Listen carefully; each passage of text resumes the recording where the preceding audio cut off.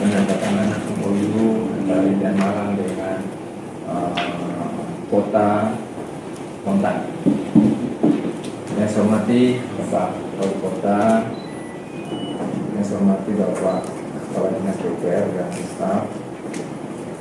Yang pertama saya ingin menyampaikan eh, ungkapan rasa terima kasih pertemuan kami diterima secara lengkap oleh Pak Rektor dan seluruh Civitas Akademi di ITN malam ini. Sebuah kebanggaan bagi kami bisa bersilaturahim dan bertetap muka secara langsung dalam rangka eh, kesepakatan bersama antara pemerintah Kota Montang dan Institut Teknologi eh, Nasional Malang.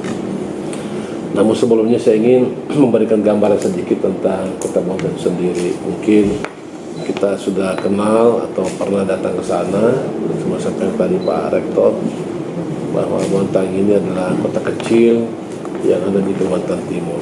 Kita masuk di kawasan Indonesia Tengah kalau nggak salah. Makanya nanti ada akan sampaikan selama ini ITN banyak ke timur, ya sekali-sekali pasti ke wilayah tengah Pak. Siap, siap. Tengah. Uh, Bontang ini adalah terkenal dengan pupuk uh, kaltimnya. Kita kota industri jasa yang berbasis petrokimia dan kondensat. Di samping pupuk kaltim ada LNG badak, ada amonia nitrat, metanol, terus ada juga tambah batu bara, yaitu PT Indomie Komandini. Bontang ini uh, pabriknya sangat uh, besar semua. Terus uh, semuanya kebanyakan dari industri hulu. Nah, sekarang ini kita coba ke industri hilir karena industri hulu itu suatu saat pasti akan habis. Nah, sekarang ini telah berdiri uh, industri hilir dari PT Gama Group Pak Maratua Sitorus yang kemarin bermasalah masalah minyak goreng. Salah satu pabriknya ada di Montang, pabrik minyak gorengnya.